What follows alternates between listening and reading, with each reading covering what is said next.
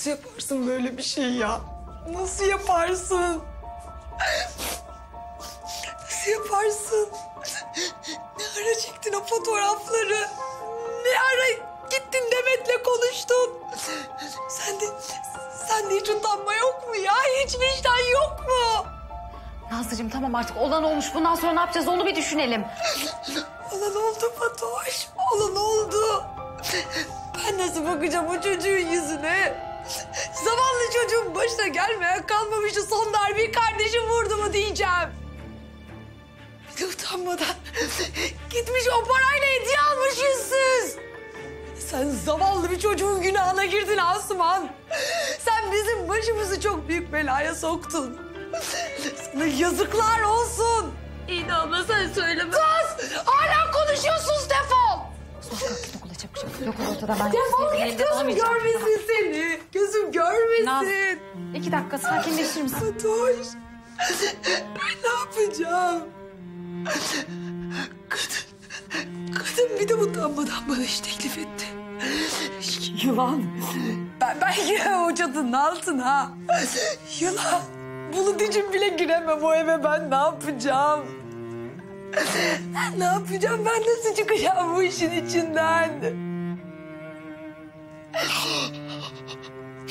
Demet de tutmuş Nazlı'ya iş teklif etmiş. Bulut'un yanında olmasını, onlarla çalışmasını istiyor. Ya benim de hoşuma gitmedi bu durum ama Bulut düşünüldüğünde çok da mantıksız değil. Asıl mantıksız olan Bulut'un o evde olması.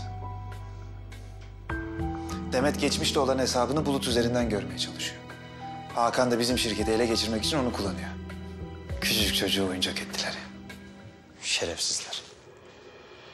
Demet de Hakan da bunun hesabını verecek. Ne demek Ferit Aslan'ın şirketiyle anlaştılar? Ne demek? Nasıl anlaşırlar? Neden? Benim niçin şu anda bundan haberim oluyor? Biz de bilemedik Hakan Bey. Bugün birleşme öncesi bazı prosedürleri halletmek için aradım. Böyle bir cevap verdiler. Ee, Biz de şaşkınız. Şaşıramazsın. Sen şaşamazsın. Sen benim çalışanımsın. Sen şaşırmayacaksın. Sen şaşırtacaksın. Senin atılan her adımdan, alınan her nefesten haberin olacak. Ama sana şaşıracağım bir şey söyleyeyim. Defol! Kovuldun! Ama Hakan Bey- Defol!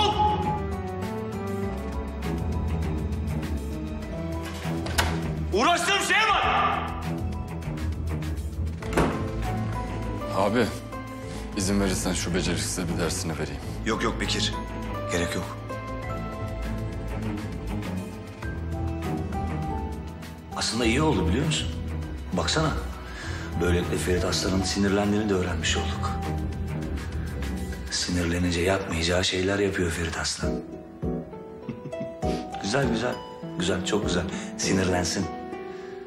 Ben daha ona neler yapacağım o sinirlensin. Şimdi sana çok güzel bir şey hazırlayacağım bak. Önce şundan sürüyoruz. Şöyle iyice. Reçel koyayım mı üzerine? Reçel sevmem, çikolata sür. Aa, ama olur mu canım öyle şey? Hem çikolata sağlığa zararlı. Bak bu çok güzel bir reçel. Organik. Reçel sevmem, çikolata sür. Bence Bulut'un yanaklarına bal sürelim. Amca, İyice bal çocuk gibi ol. Hmm, ne yapıyorsun? iyiyim, hoş geldin. Hoş bulduk. Denizciğim otursana bir şeyler yersin. Yok ya ben yedim bir şeyler. Ama belki biraz buradan yiyebilirim. Amca.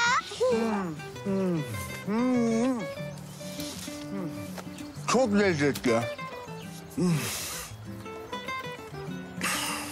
Çalışmaya başlamadan önce senden bir şans öpücüğü alayım dedim.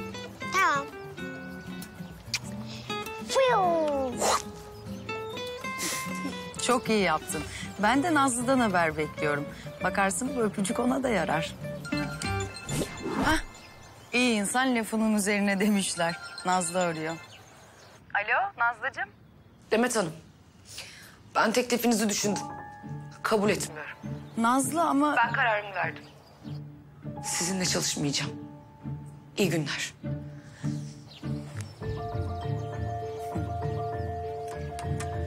Burada çalışmak istemediğini söyledi.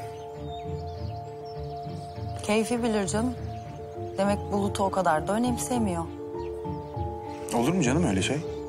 Bulut, Nazlı seni çok seviyor. Evet, çok seviyor. Ben birkaç gün sonra zaten dayımın evine yine geri döneceğim. O bunu zaten biliyordur. O yüzden gelmemişti.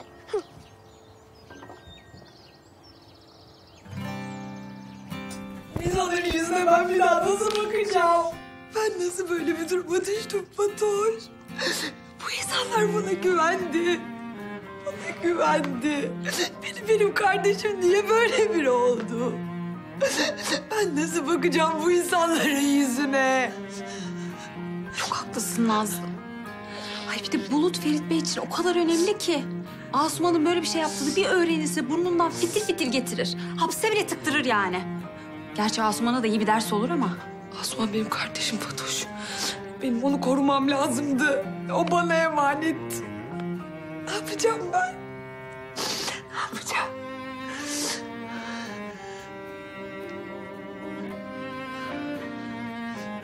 Ferit Bey'e söyleyeceğim.